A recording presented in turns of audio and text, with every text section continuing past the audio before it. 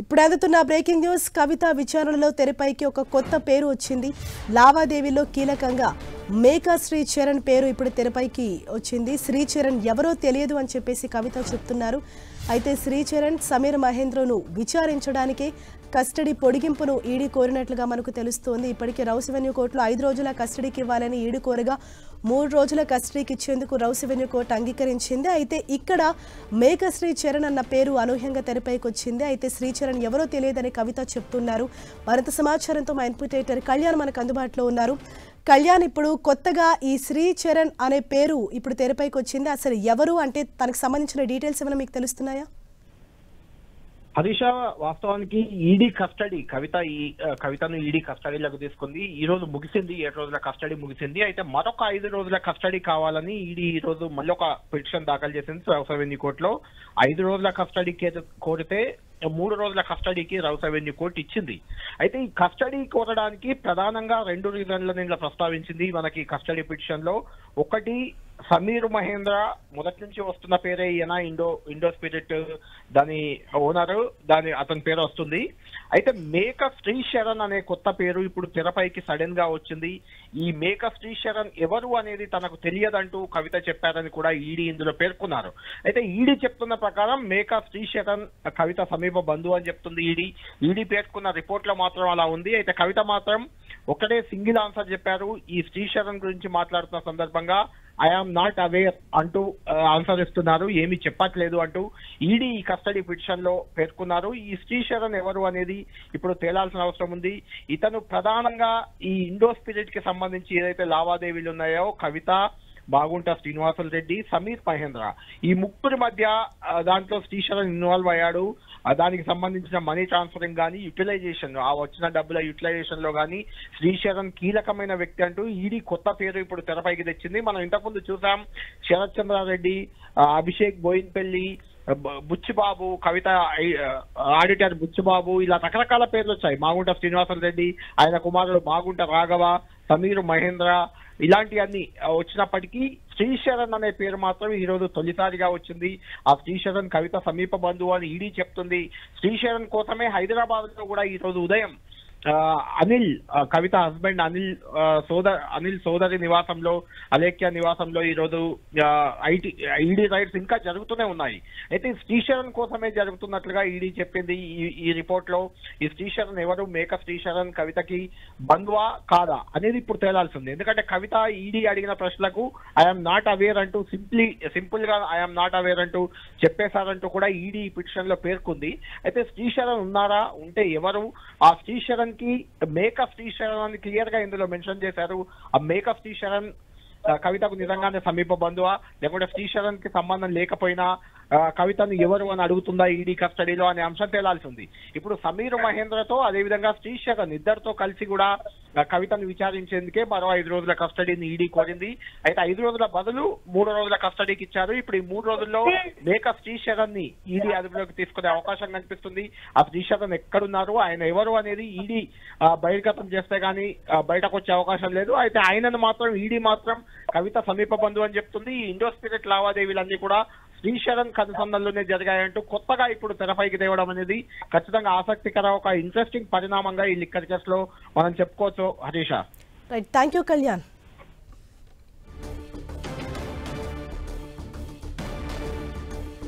Kavitha విచారణలో ఇప్పుడు అనూహ్యంగా కొత్త పేరు తెరపైకి వచ్చింది మేకా శ్రీశరణ్ అనే వ్యక్తి పేరు ఇప్పుడు తెరపైకి వచ్చింది అయితే శ్రీశరణ్ ఎవరో తనకు తెలియదని కవిత చెప్తున్నారు.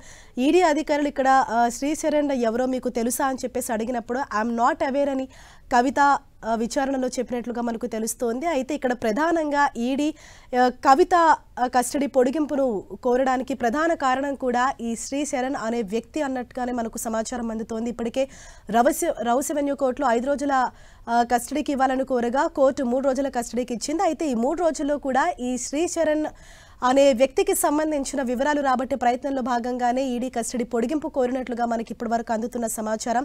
అందులో భాగంగానే ఇక్కడ హైదరాబాద్లో కూడా కవిత ఆడపడిచి ఇంట్లో కూడా తనిఖీలు అన్నవి జరుగుతున్నాయి. అంటే శ్రీశరణ్కి సంబంధించిన సమాచారాన్ని రాబట్టే ప్రయత్నంలో కూడా ఇప్పుడు ఈడీ అధికారులు నిమగ్నమై ఉన్నారు. శ్రీశరణ్ సమీర్ మహేంద్రను విచారించడానికి వారిద్దరిని కలిపి విచారించడానికే కస్టడీ పొడిగింపును ఈడీ కోరినట్లుగా మనకు సమాచారం అందుతోంది. చూడాలి ఈ కేసులో మరి ఇంకా ఎటువంటి కొత్త టర్న్ తీసుకుంటుంది అసలు ఈ శ్రీచరణ్ అనే వ్యక్తి ఎవరు? ఈమెకి కవిత సమీప బంధువు అని మనకు అందుతున్న సమాచారం. అయితే కవిత మాత్రం అతను ఎవరో నాకు తెలియదు అని చెప్పేసి అక్కడ సమాధానం చెప్పినట్లుగా మనకు తెలుస్తోంది. మరి ఈడీ ఎంక్వైరీలో ఇంకా ఎటువంటి కొత్త విషయాలు వెలుగులోకి వస్తాయన్నది రాబోయే రోజుల్లో చూడాలి.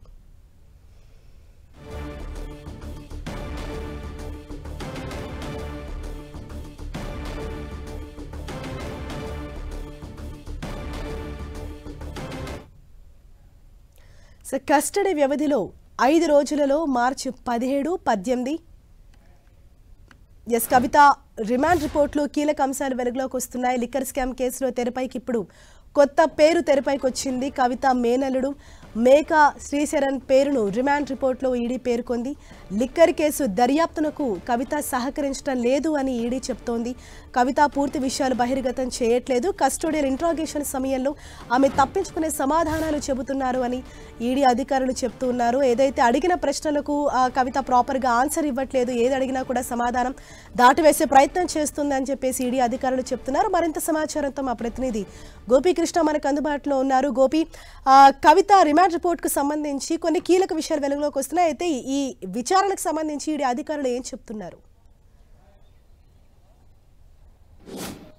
Yes sir Delhi liquor scam money laundering కేసులో మార్చ్ పదిహేనవ తేదీన క- కవిత అరెస్ట్ అవ్వడం జరిగింది. ఆ తర్వాత కోర్టులో ప్రొడ్యూస్ చేసినప్పుడు వన్ వీక్ ఈడీ కస్టడీకి అనుమతి ఇచ్చారు. సో ఈ వన్ వీక్ ఏం జరిగింది? కవితను ఏం ప్రశ్నించారు? అన్న అంశాలకు సంబంధించి ఈ రోజు కస్టడీ ముగిసిన సందర్భంగా రౌజ్ అవెన్యూ కోర్టులో ఒక రిమాండ్ రిపోర్ట్ని కవిత ఎక్స్టెన్షన్కి సంబంధించి కస్టడీ ఎక్స్టెన్షన్కి సంబంధించిన అప్లికేషన్ని దాఖలు చేయడం జరిగింది. ఇందులో భాగంగా CrPC section one sixty seven two అలాగే prevention of money laundering act two thousand two section fifty five కింద కవిత కస్టడీని మరో ఐదు రోజులు పొడిగించాలని చెప్పి కోరడం జరిగింది. అయితే ఈ ఐదు రోజుల స్థానంలో మూడు రోజులకి కోర్టు కస్టడీకి అనుమతించింది కూడా. కాసేపటి క్రితమే Rouse avenue court CBI special judge Kaveri Baweja ఉత్తర్వులు కూడా వెలువరించడం జరిగింది. అయితే ఈ ఐదు రోజుల కస్టడీలో వారం రోజుల పాటు కవిత ఈడీ కస్టడీలో ఉంటే ఐదు రోజుల పాటు ఆమెను ప్రశ్నించడం జరిగింది.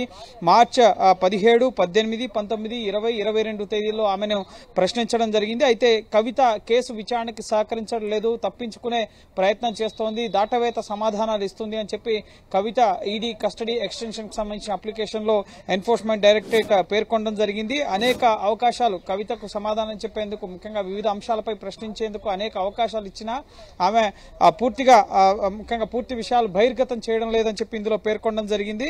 సో తప్పించుకునే సమాధానం ఇస్తుందని చెప్పి కూడా పేర్కొన్నారు. అలాగే ముఖ్యంగా మార్చి పద్దెనిమిది పంతొమ్మిది ఇరవై ఇరవై రెండు తేదీల్లో నలుగురు ముఖ్యంగా నిందితులతో కలిపి ముఖ్యంగా ఇతర నిందితుల వాంగ్మూలాలు కూడా తీసుకున్నారు అని చెప్పి చెప్పారు. అలాగే కవిత దర్యాప్తులో తెలియని విషయాలపైన ముఖ్యంగా ఇప్పటి వరకు ఇన్వెస్టిగేషన్ ఈ ఇరవై నెలల కాలంలో జరిగిన ఇన్వెస్టిగేషన్ పైన కవితను పలు ప్రశ్నలు ఎన్ఫోర్స్మెంట్ డైరెక్టరేట్ అధికారులు అడగడం జరిగింది.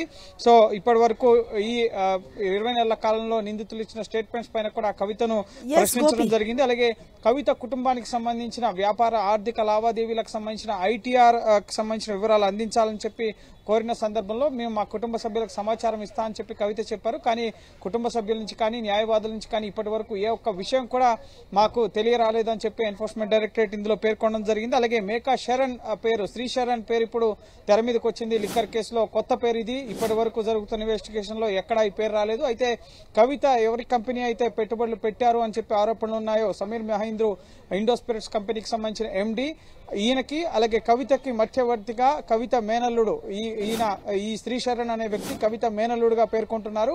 శ్రీశరణ్ ఆర్థిక లావాదేవీలు నడిపారు. సమీర్ మహేంద్రుకి కవితకి మధ్య. సో ఇతన్ని ప్రశ్నిస్తే అనేక విషయాలు వెలుగులోకి వస్తాయి. ఇతనికి అనేక రెండు సార్లు నోటీసులు ఇచ్చాం రమ్మని చెప్పి. అయినప్పటికీ కూడా కేసు విచారణకి సహకరించకపోవడంతో prevention of money laundering act section seventeen ప్రకారం ఈ రోజు శ్రీశరణ్ నివాసంలో సోదాలు నిర్వహిస్తున్నామని చెప్పి కూడా కోర్టుకు తెలియపరచడం జరిగింది. సో ఈ కేసులో. శ్రీశరణ్ పాత్ర పాత్ర చాలా కీలకం. సో అతన్ని ప్రశ్నించాల్సి ఉంది అలాగే సమీర్ మహేంద్రను కూడా ప్రశ్నించాల్సి ఉంది. సో అందుకే కవిత కస్టడీని ఎక్స్టెండ్ చేయాలని చెప్పి కోరుతున్నట్లుగా రోజవెన్యూ కోర్టుకు తెలియపరచడం జరిగింది. సో ఇప్పుడు శ్రీశరణ్ ఈడీ ముందుకు వస్తే ముఖ్యంగా కవితను శ్రీశరణ్ని కలిపి ప్రశ్నించడం జరుగుతుంది. ఇటీవల కవితను అరెస్ట్ చేసిన సందర్భంలో శ్రీశరణ్ యొక్క ఫోన్ కవిత నివాసంలో సోదాల్లో దొరకడం జరిగింది. సో ఆ సందర్భంగానే దానిపైన ఆయన- ఆయన గురించి శ్రీశరణ్ గురించి కవితను అడిగినప్పుడు నాకు ఆయన గురించి ఏమీ తెలియదు అని చెప్పి కవిత సమాధానం ఇచ్చినట్లుగా కూడా ఈ రిమాండ్ రిపోర్ట్లో ఎన్ఫోర్స్మెంట్ డైరెక్టరేట్ పేర్కొనడం జరిగింది. సో అందులో భాగంగానే ప్రస్తుతం శ్రీశరణ్ని సైతం ఈడీ అదుపులోకి తీసుకునే అవకాశం ఉంది మేకా శ్రీశరణ్ని సో అతన్ని అదుపులోకి తీసుకున్న తర్వాత కవితను శ్రీశరణ్ని అలాగే ఇండో స్పిరిట్స్ కంపెనీకి సంబంధించిన ఎండి ఇప్పటికే కోర్టుకు కూడా తెలియపరిచారు. వీళ్ళని విచారించేందుకు అవకాశం ఇవ్వాలని చెప్పి ఒక అప్లికేషన్ని కూడా మూవ్ చేశారు. సో కవిత ఇండో స్పిరిట్స్ కంపెనీలో భాగస్వామ్యానికి సంబంధించి చెల్లించిన ఆర్థిక లావాదేవీ వీళ్ళ మధ్య జరిగిన ఆర్థిక లావాదేవీలకు సంబంధించి కూడా ఎన్ఫోర్స్మెంట్ డైరెక్టరేట్ ప్రస్తుతం ఆరా తీస్తోంది. Right thank you Gopi